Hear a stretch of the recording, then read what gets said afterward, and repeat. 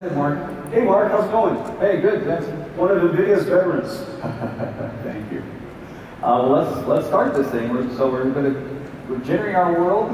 We're running four simultaneous cameras, as you mentioned. Uh, we've got a pretty uh, aggressive driver here in front of us. We've defined the scenarios causing all the traffic to jam up. Um, but as you mentioned, we got all the cameras, so we're running on multiple GPUs, so it's a scalable system. As cars get more and more sensors, more cameras, more LiDARs, we're going to need the horsepower of multiple GPUs. And we're showing that to you right here.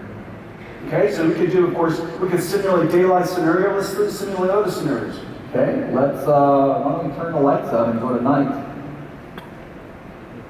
So here's the same setup, only now we're doing all the dynamic lighting. So the headlights of the cars, the the light posts that are lighting the uh, road, the lights under the bridge as we drive under here, these are all dynamic real-time lights. And, and the, the, key here is that the, the fidelity of the simulation has to be sufficiently high that the sensor stack, all the software that we create, would just operate as they would in real life. That's exactly right. Right? So, so and every one of the sensors needs to have GPU associated with it to, to generate its, per, its view of the universe, its view of the world that it's in. And so, so today we're simulating with four GPUs, with four cameras, but obviously we have the ability to spawn off a whole large number of GPUs. So, so if you have if you have eight lidar systems around your car, you have eight cameras around your car, you have six radars. We have the ability to generate all of that and feed that information into our sensors.